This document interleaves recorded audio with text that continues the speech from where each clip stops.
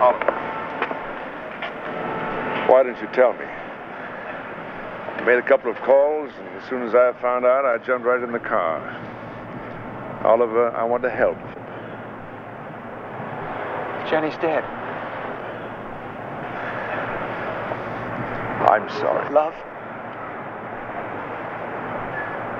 Love means never having to say you're sorry.